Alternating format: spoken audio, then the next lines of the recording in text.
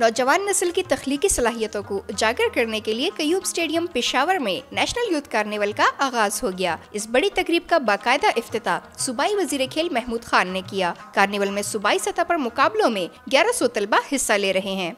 आप स्पोर्ट्स को देख ले, आप और डिपार्टमेंट्स को देख ले, जो वादे हमने किए थे, उसमें तकरीबन अल्लाह ताला ने हमें कामयाबी दी हुई है। जिस तरह क्योंकि नौजवान हमारे साथ अटैच है और ये यूथ डिपार्टमेंट स्पोर्ट्स से सारे नौजवानों की है।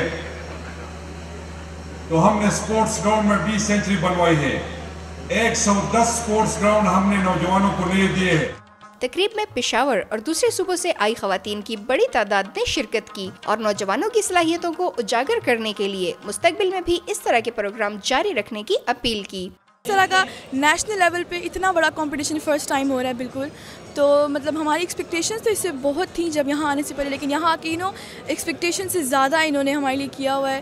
कंपटीशन बहुत अच्छा है एटमॉस्फेयर बहुत फेयर है और मैनेजमेंट सब कुछ एवरीथिंग इज़ ऑसम है बहुत अच्छा इनिशिएटिव है के पी का मुझे बहुत अच्छा लग रहा है यहाँ पर और बहुत मज़ा आ रहा है। मैनेजमेंट टीम में मैं हूँ यहाँ पर और बाकी बहुत अच्छा कल्चर है मेरे लिए। मैं पहली दफ़ा यहाँ पर आई हूँ पंजाब से हूँ। और मुझे बहुत अच्छा लग रहा है